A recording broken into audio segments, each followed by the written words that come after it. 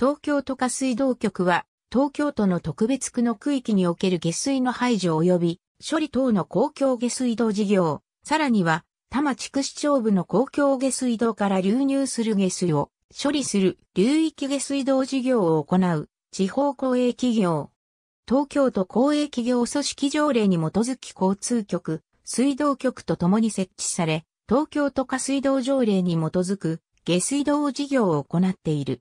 水筒取扱金融機関は、みずほ銀行東京中央支店が担当している。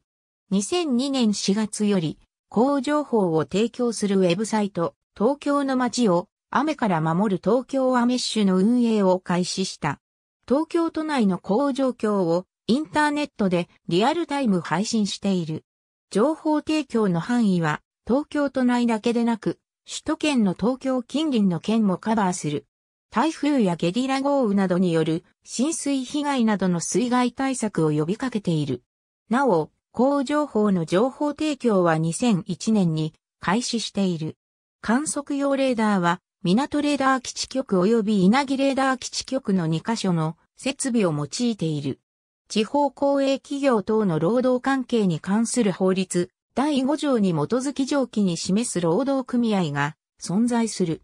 現在、東京水道労働組合と東京水道労働組合の2組合に分裂した状態が続いている。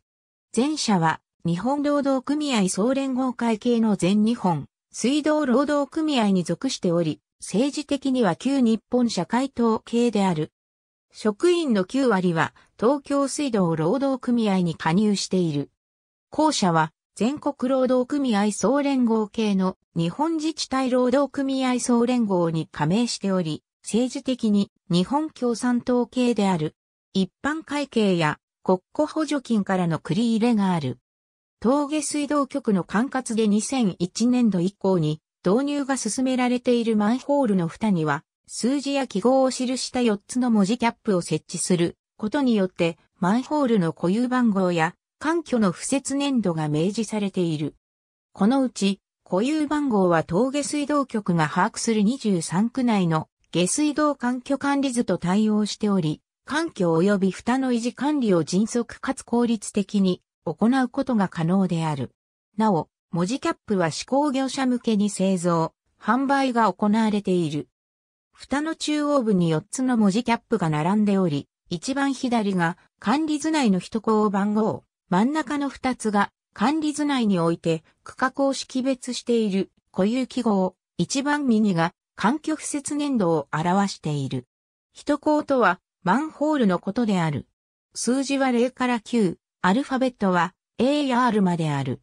数字とアルファベットの組み合わせで、例えば QH のようになる。